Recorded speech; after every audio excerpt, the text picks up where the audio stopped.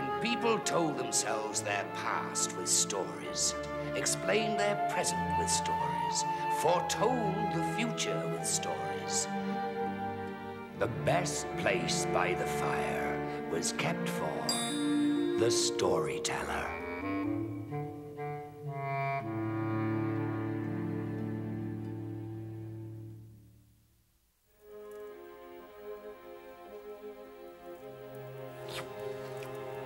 Yesterday, I was telling a marvelous tale of how the moon became round. And suddenly, as I reached the best bit, I couldn't remember what came next. I still can't. And staring at these expectant faces, I thought, what will I do when there are no more stories in me? When the well runs dry? What use a storyteller without stories? And then I remembered a time that was exactly what happened.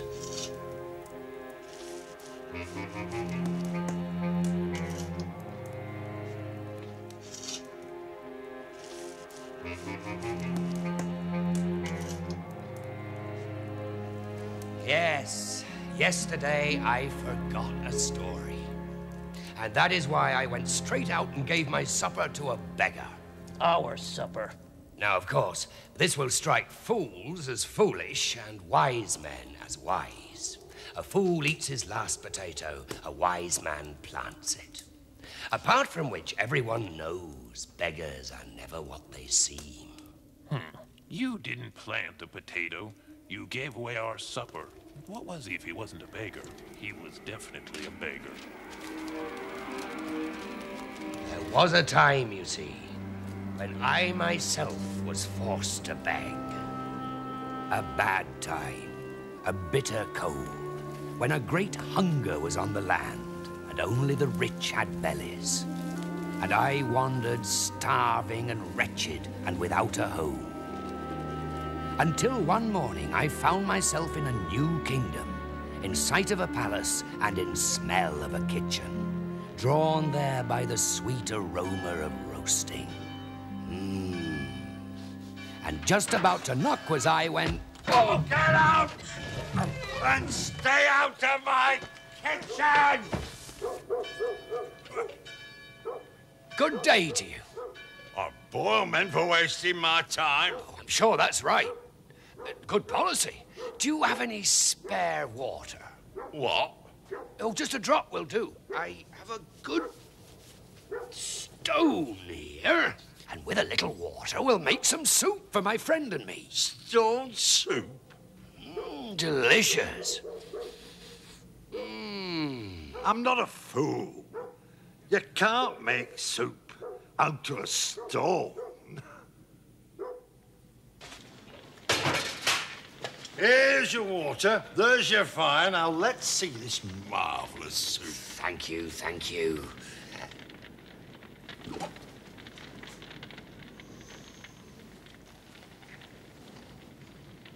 How long's this going to take? Oh, it won't take more than an hour. Oh, that's good. Oh, it's marvelous water. And our friend the cook stands over me for an hour while I consider my soup a simple stone in bubbling water.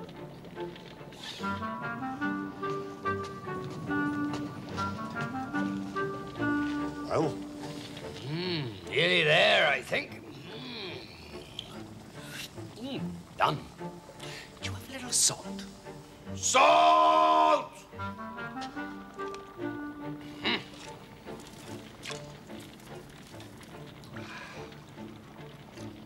Mm, almost perfect. Do you have a little stock? Lamb. I mean, just a drop will do. Stock!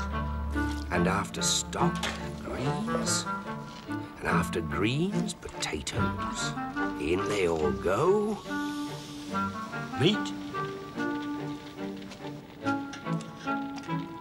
Enough, you drown the stone. Mmm, ready. Now, you must remember this is just a humble stone soup. Ah, good. Very good. Soup from a stone. Keep it. My gift. Thank you.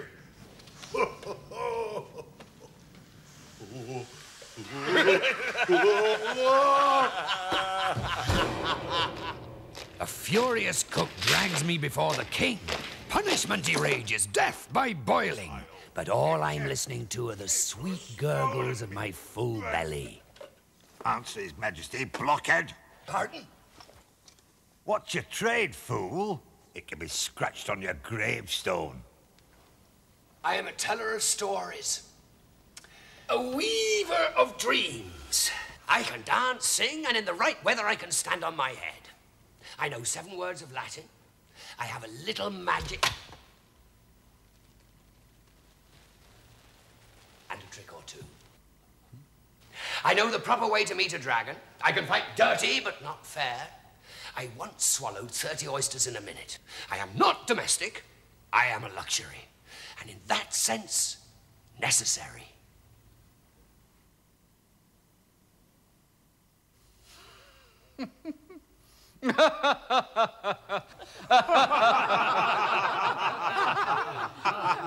Excellent. And you can make soup out of a stone. Excellent. And a monkey out of a cook. But your Majesty. And stories, eh? Good stories? Funny stories? Some good, some funny, some indifferent. Your Highness, the punishment. Punishment. Yes. Your punishment will be that you will tell me a story every night for a year. And for every story, I will give you a golden crown. Is that fair? It's my usual fee. But of course, if you should run out of stories, I will hand you over to the cook and his boiling oil. Naturally. Naturally. Ah, my dearios, the balmy days which followed. The plenty, much of this, much of that, each day an inch on my belly, a story from my head. Imagine me then. A royal commission, a servant, a feather bed, a suit of silk jingling with my gold pieces. Blissfulness. After supper, up by the fire, I'd tell my tale to the rapt king. And he never fell asleep. What more could an artist want? Food to eat, money to spend, and his audience awake. Each night a tick on the golden calendar and a snuggle with my new wife. That wife, I. Uh... And the year passed, and the final day came, my last of sweet punishment. I wake up full to the brim with life. My wife all softness in our bed, the coins spilling over. And blow me, I can't think of a story. In a twink, I'm up and pacing the gardens, that old crocodile fear leading me a merry dance. But oh dear, my mind is a terrible blank. Oil, it says. The oil is on the boil. Husband, we have a visitor. So I see. You don't remember me? We shared your stone soup. Right. Is something wrong? No! No! Is there anything we can do for you? Is it food you're after or money? Oh, no, sir. I have both about me. As it happens, I have 364 gold pieces.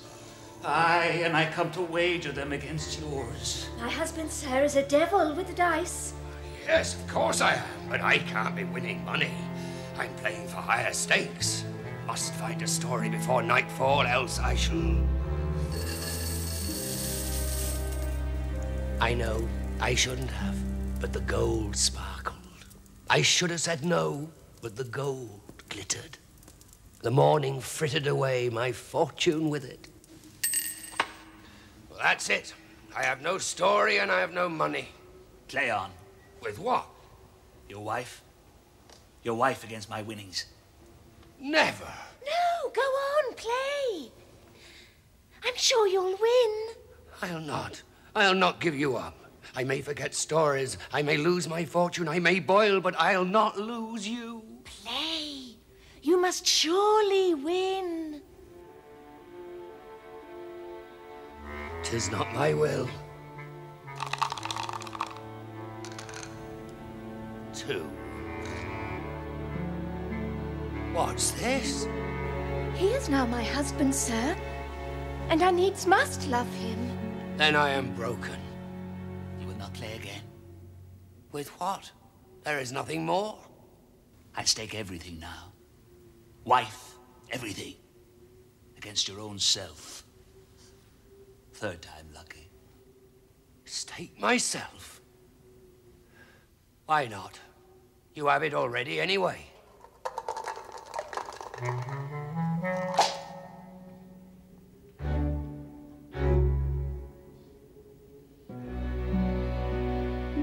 sixes. Naturally. Well, sir, I am your servant on this dismal day. Am I to be tied up like a dog? No. Like a hare. How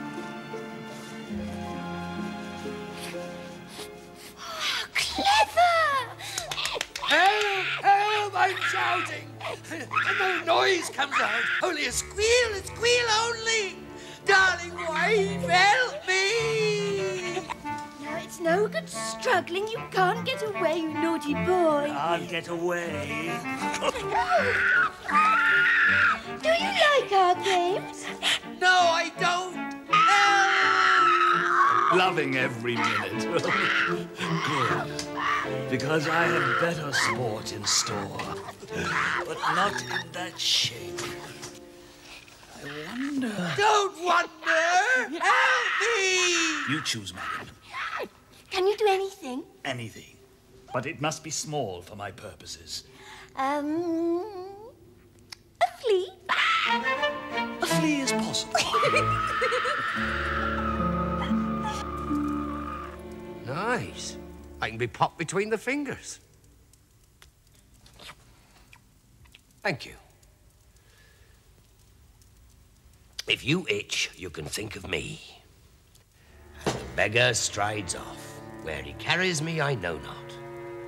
This morning, a man blessed by lunch of flea. This does not bode well for the evening, unless I find my story.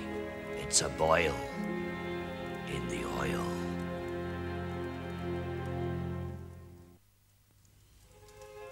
A view on life as a flea. Outside it is cold and hungry. Inside the castle it is hot and people eat. Our friend the beggar takes us, me and the rest of the fleas, to the kitchen where the oil sizzles to meet the cook. The human body is a kitchen for the parasite, and the cook is a feast. The other fleas flock to him. Gold, so tempting. Greed is the cook's itch, and he scratches. What's that? Oh, that's oil boiling. It's for a friend of mine, a buffoon who tells stories. Nothing. A flea. His time will come. Put your straws down here. By all means. Now you say you can blow away the middle one, but leave the other two where they are. My goal says I can. A meal says I can't. That's cheating. Why? I can do that. Then try.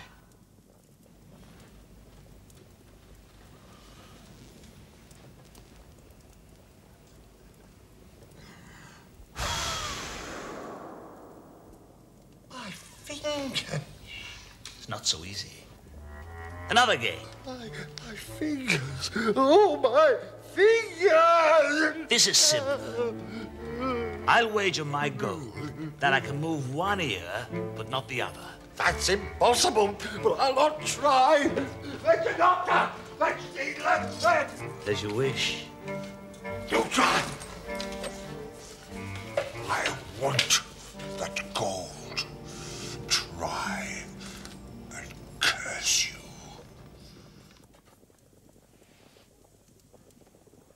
That's cheating. He's cheating. No. I said I'd move one ear and not the other. And that is what I've done. You'll not make a fool out of me. I'll do it myself. my ear. Oh, my ear. Oh, oh, My fingers! My ear! Poor chap. What do you mean, poor chap? What about me, poor flea? Poor chap indeed. He only lost a few bits. I lost everything. Terrible state. Sorry. And then, as night draws up its hood and the hour comes when the king expects his story, I find myself carried into the court on the coat of the beggar. Where's my storyteller? Huh? Huh? I want my story. Sire, there's a man outside would entertain you. I don't want entertainers. I loathe entertainers. I want my story and I want it now. Majesty, allow me to present myself, ragbag that I am. He smells. I am a beggar, sir. It is my business to smell. But I am capable of offense, not simply to the nose. And I can throw a rope in a special way.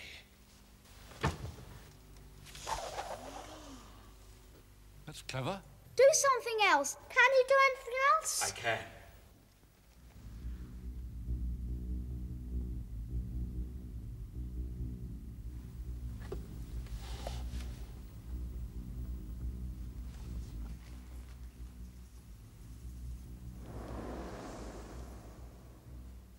Where's it gone? I want it. Where's it gone? The prince wants the ball. Please oblige. It's at the top of the rope. Can I get it? He can't climb a rope. Well, in that case.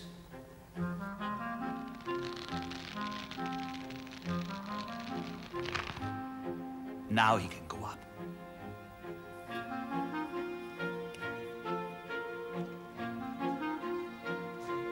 Be careful.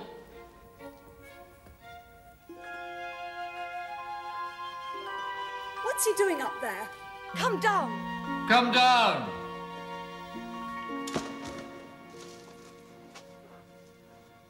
Where was he? Where was he indeed? All eyes strain upwards, but the prince has vanished. The beggar scratches his beard and shrugs, and then a bright object comes sailing down. The ball.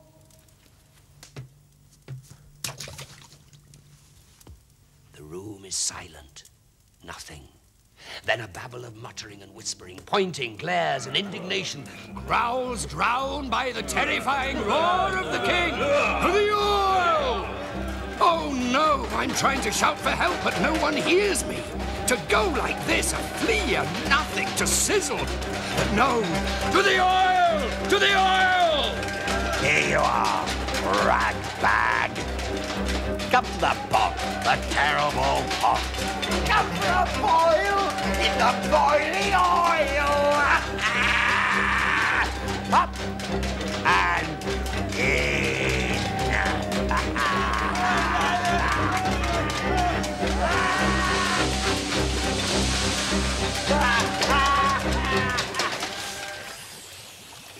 Watch out! Sorry.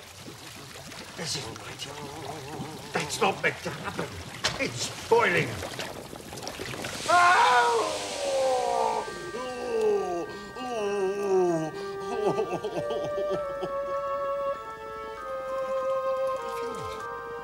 The back. My fingers are back. Ow!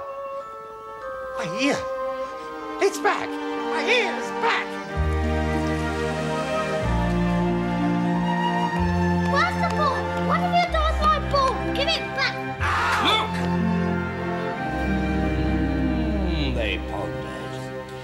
Could blame them? For odds, bods, and strange indeedy, the beggar had quite disappeared. But, but what about you? Where were you? Where was I indeed? No longer a flea, no longer anything. Here I am above the palace, swirling, an element, nothing more. And then a sudden drop, hurtling down, and the ground rushing up towards me. Oh! I've been dreaming. None of this happened. His Majesty wants his story. Yes. Wife. Right.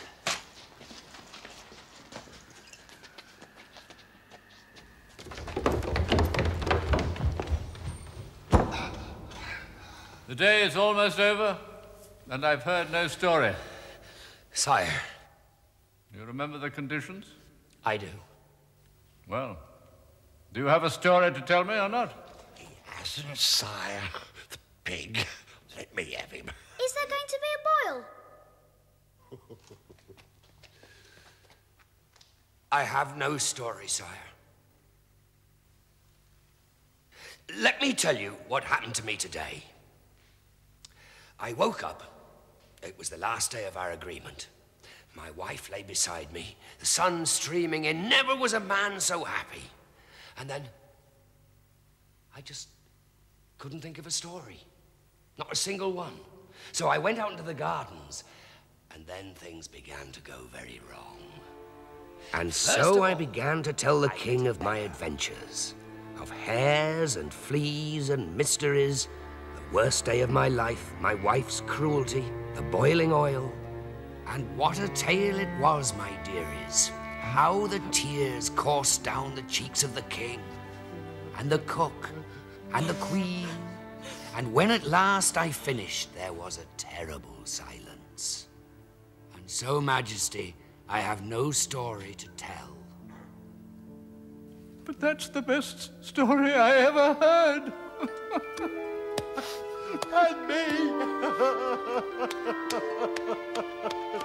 and And suddenly the whole court stood and cheered and clapped my back and made me say again from start to finish the best story they'd ever heard. And then I understood what the beggar had done. He'd given me a story. When I was a story short, he made me one.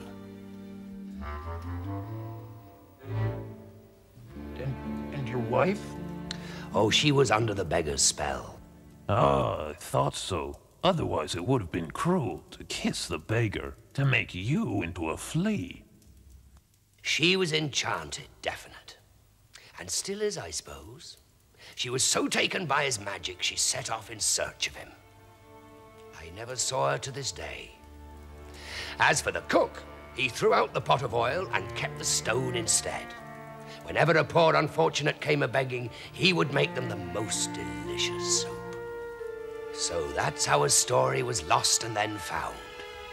And is still told to this day, for the king will hear no other. Only it's changed now. The wife comes back to the storyteller, the storyteller becomes king. You know how it is in stories. She was a lovely, lovely red hair. Are you hungry? I've got a bone somewhere.